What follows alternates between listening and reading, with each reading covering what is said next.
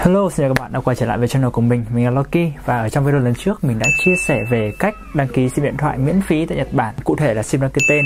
Và trong cái video đó thì mình cũng đã nhắc tới cái việc là mua cái gói entry package ở trên Amazon để có thể hưởng cái ưu đãi miễn phí đó. Và sau video đó thì có rất là nhiều bạn inbox cho mình hỏi cái cách mua trên Amazon và các cái phương thức thanh toán trên Amazon. Vậy thì Amazon là gì? Trong video ngày hôm nay chúng ta sẽ cùng nhau tìm hiểu nhé.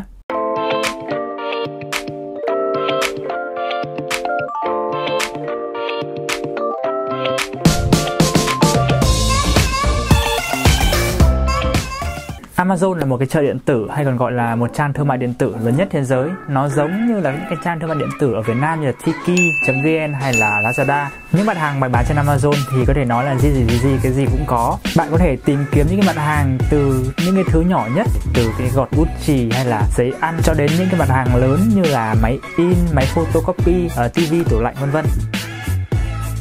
Nói về nguồn gốc xuất xứ của các mặt hàng trên Amazon thì chúng ta sẽ có ba nguồn gốc thứ nhất phải kể đến đó chính là những cái mặt hàng do chính Amazon sản xuất. Cái thương hiệu của nó thường được gọi là Amazon Basic hay là tiếng Nhật là Amazon Basic cự. Những cái mặt hàng này thì thường là những cái nhu yếu phẩm trong đời sống ví dụ như là pin tiểu uh, dây cáp điện thoại uh, những cái giỏ hay là túi ba lô vân vân. Thì mình khuyên các bạn là nên mua những cái mặt hàng này từ Amazon bởi vì nó được kiểm định chất lượng và có bảo hành đàng hoàng xuất xứ an toàn. Nguồn hàng thứ hai đó chính là nguồn hàng từ những công ty đã đăng ký thương hiệu với Amazon. Nếu như bạn đã sử dụng Amazon một thời gian khá là lâu rồi thì bạn sẽ biết rằng là hầu hết tất cả các thương hiệu nổi tiếng trên thế giới đều đăng ký cái việc buôn bán với Amazon. Như bên máy ảnh thì có Canon hay là Nikon hay là Sony. À, điện thoại thì có Oppo, Huawei. Thậm chí cả những cái nhu yếu phẩm như là thuốc thang hay là thực phẩm chức năng mà các bạn hay thấy ở ngoài siêu thị Nhật ấy. chính vì cái việc họ phải đăng ký với Amazon nên là những cái quyền lợi cho khách hàng luôn luôn được đảm bảo về cả vấn đề đổi trả hàng bảo hành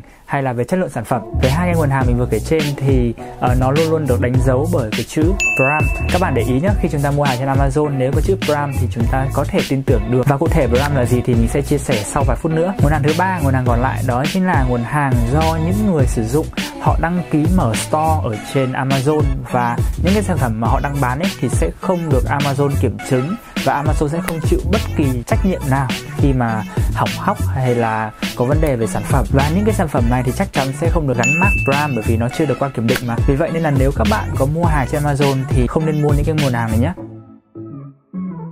nếu mà để so sánh các cái sản phẩm ở trên Amazon so với các cái cửa hàng ở bên ngoài ấy, chúng ta sẽ mua hàng được với cái giá rẻ hơn cái lý do thứ hai đó chính là cái tốc độ giao hàng nhanh chóng đối với những bạn nào mà đang ở các cái thành phố lớn như là Tokyo hay là Osaka thì ở Amazon thậm chí còn có thể giao hàng trong vòng 1 giờ đồng hồ trong các cái tỉnh thành khác trên đất nước Nhật thì họ sẽ giao hàng thường là nhanh nhất trong vòng 24 tiếng và bạn đã bao giờ băn khoăn rằng tại sao Amazon lại có một cái tốc độ giao hàng nhanh như vậy chưa? Vậy thì đây là câu trả lời. Những mặt hàng mà bạn đã nhìn thấy ở trên màn hình đều là những hàng do các công ty đã đăng ký, phân phối với Amazon. Và sau khi mà bạn đặt hàng thì chỉ trong vòng vài phút thì những con robot tự động này sẽ lấy hàng có sẵn ở trong kho và đem đi giao cho bạn ngay lập tức.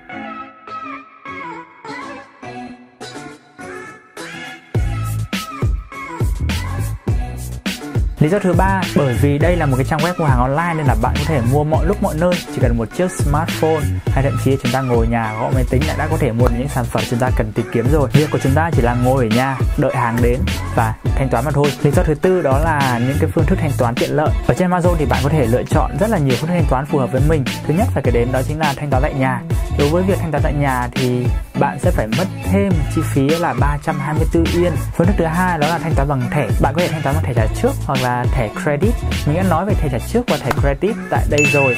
Và đối với việc thanh toán bằng thẻ này thì bạn không cần phải trả thêm 324 yên nữa. Hình thức thứ ba đó chính là thanh toán tại các combini. Thì sau khi mà đặt hàng trên Amazon xong thì họ sẽ gửi cho chúng ta một cái mã để các bạn mang ra combini in hóa đơn sau đó thì thanh toán tại quầy. Và các bạn lưu ý nhé, Amazon chỉ giao hàng sau khi mà bạn đã thanh toán xong. Phương thức thứ tư mà nhiều bạn khi mà đến Combini sẽ nhìn thấy đó chính là cái thẻ mua hàng trên Amazon với những cái mức giá cố định thậm chí là có những cái thẻ mà chúng ta sẽ nạp theo cái số tiền chúng ta muốn và sử dụng để mua hàng trên Amazon. Trong trường hợp mà vẫn còn thừa tiền ấy, thì cái số tiền thừa vẫn lưu lại trên tài khoản của các bạn, hoàn toàn có thể sử dụng cho những cái lần mua sau. Như đầu video thì mình vừa mới nhắc tới đó là Amazon Prime. Amazon Prime là một cái gói đăng ký dành cho khách hàng để hưởng những cái quyền lợi đặc biệt đến từ Amazon. Bạn sẽ được giao hàng miễn phí và thậm chí thì tùy theo những nơi bạn ở, bạn sẽ được giao hàng ngay lập tức trong vòng 1 giờ. Ngoài ra thì bạn sẽ được hưởng Amazon Pantry, nghĩa là bạn sẽ mua những cái hàng thiết yếu như là Ờ, nước giặt hay là bánh kẹo đồ ăn ờ, nước uống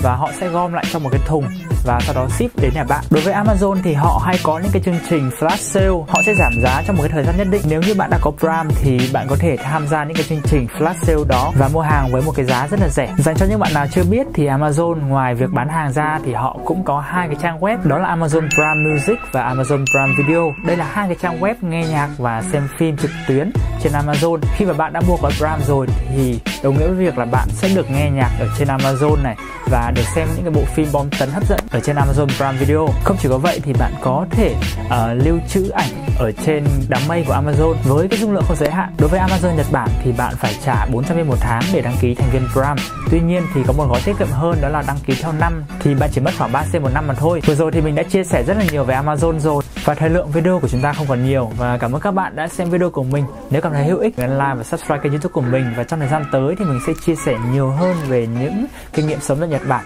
Cảm ơn các bạn. Xin chào tạm biệt và hẹn gặp lại.